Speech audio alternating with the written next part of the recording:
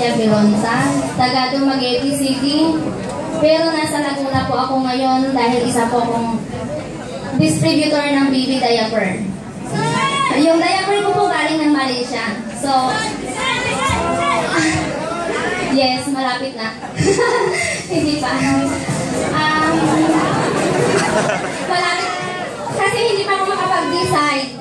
Kasi under pa ako ng talagang ano, may-ari ng diaper. Darating din tayo dyan. ang background, ah, ang sponsor ko po si Ate Lydia. Hindi ko nakita nasaan siya ngayon. Wala ang sponsor mo. Wala pa akong testimony. Pero masaya ako dahil nandito ako sa lifestyle. Eh, sinama niya ako sa ILC. Na isa po ako doon sa Sipsip Infra, nakasali doon. Wow! Yes. So, ang package ko po ay instant.